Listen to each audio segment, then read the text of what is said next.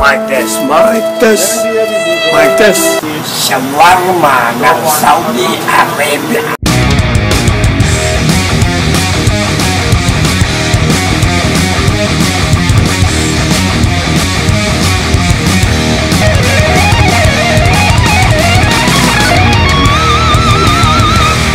Shawarma. Saan ba talaga galing ang shawarma?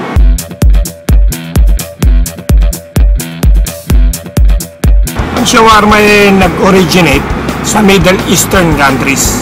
Gaya ng kung nasa ako, Saudi Arabia. So ngayon papakita ko sa inyo mga ilang klase ng shawarma.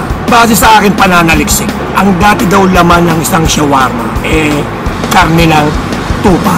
O kung tawagin nila dito eh, moto nor lamb. Pero ngayon, dahil international na siya, meron na siyang chicken, pork, beef, at turkey. Pero dito ngayon, kadalasan, chicken lang. Pero tara, kain na tayo.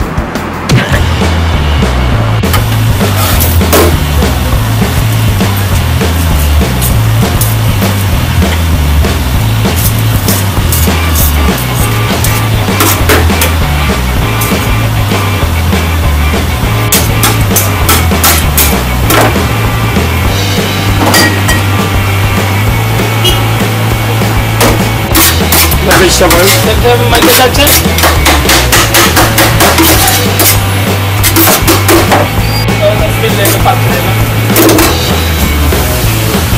Ay, may ready ka lagi. Ano to? No bulay. Two pieces,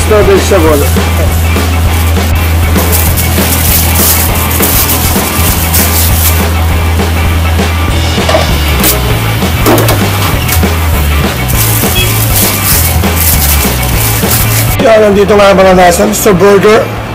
Kala nyo burger lang tinda, hindi. Shawarma rin. Lalo pa, papayita ko sa inyo yung mga nagtinda. Nakita siya. Ito, limited lang ang table tsaka chair. Hindi na pwesto lang kasi. So, okay siya. Pero maasim yung sauce. Only 4 real. Pabubulog ka lang. Stop, stop lang. Sarap pero maasim yung sauce. Okay naman yung chicken. Mura pero okay na. May iba pa nilang tinda. Nasa left side, samusa, cheese samusa. Hindi na itong marami vegetable. Ang tawagin nila ay kungkura. Okay, meron. While Patchy pulls himself together, Parang gutom pa ako. Pa ako sa isang kainan ng shawarma.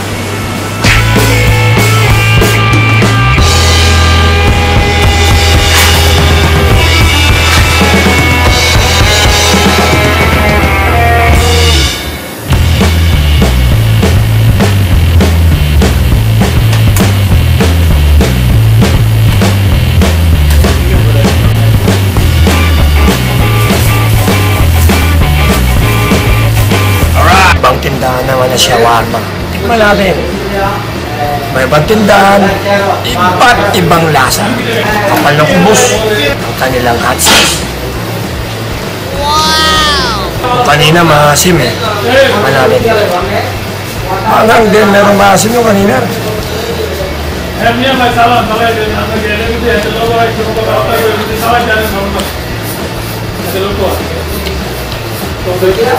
Masarap tong chicken shawarma na. Malasa. Hmm? Konti yung vegetable. Good, man. Taste good, man. more moments later. Yun, doon naman tayo sa isa. Tara. Sinimbi, ito nga pala yung isa sa mga kilala dito sa Saudi Arabia. O ano, papasok na ako. Nabitin ako doon sa kanina eh. Itong shawarma yun, pangapat dito. Tara.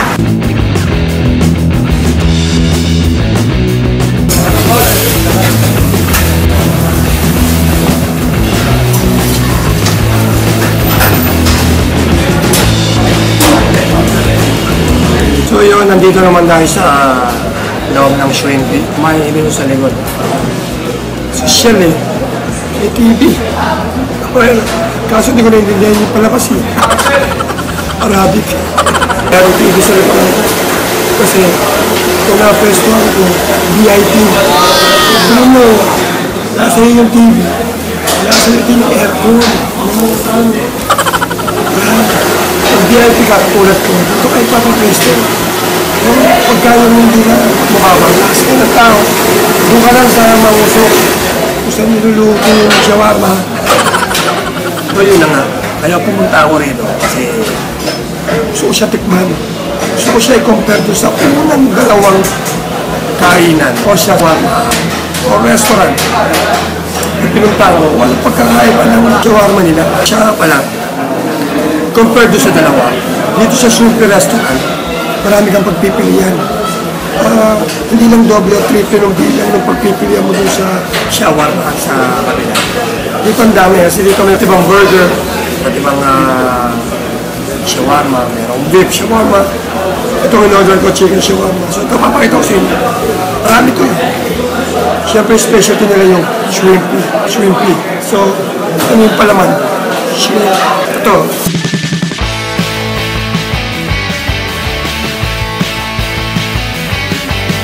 Paano? Titikman ko na ha. Let's go. Yan siya. Vegetable. Ubus nila. Uy. Lambo. Yung loob. Chicken, fries. Chicken yan, hindi ganun tostado. And then the mayo. Okay, let's go.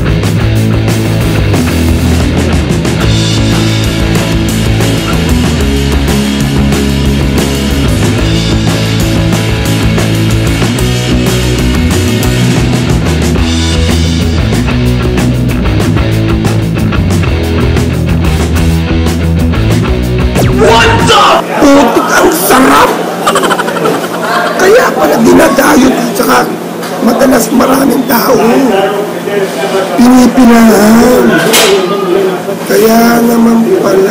Kaya pala. 6 reals lang itong uh, shawarma nila. So add ka na lang ng 2 reals. Dahil wala masarap na shawarma. Kung nga lang maglalakad ka kasi malayo to. Siguro mga ano, 100 kilometers.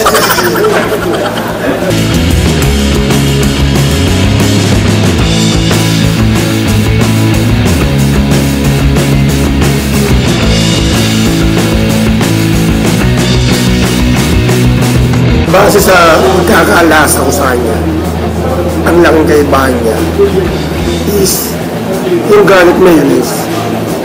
Doon kasi sa unang dalawa na tindahan, common mayonnaise lang. Ito kasi garlic mayo. So malasa siya. Yung yung chicken niya kaya pala malambot. Kasi hindi siya ganun ka tostado. Ito siya, crunchy na malambot. Ano yun? Hindi naman sweet. Sarap eh. The best. For me, itong shrimp yung shrimp shawarma nila. Shawarma nila. Bibigyan ko ng 10. Perfect. 10. Sarap. Kahit walang hot sauce. The best. Tanong, ulitin ko ba? Siyempre naman. Eh, yun ay kung may time. Kasi malayo. ah. Actually, malayo to. Mga 10 kilometers. Paano? Nandito na lang. Pabos.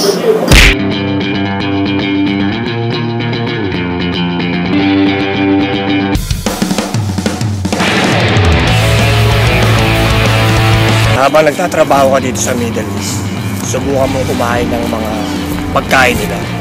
Para at hindi ka ignorante. Hayaan mo kung merong nangangantyaw sa'yo, nangasar sa'yo. Eh ano ba? Pera mo naman yun. Pera mo naman yung pinagbibili mo doon, di ba? Mayaran mo doon, eh yung ma-experience na makakain ng ganong pagkain. Mas maganda pa nga dyan eh, kung pipicture mo, tapos ipopost mo sa Facebook,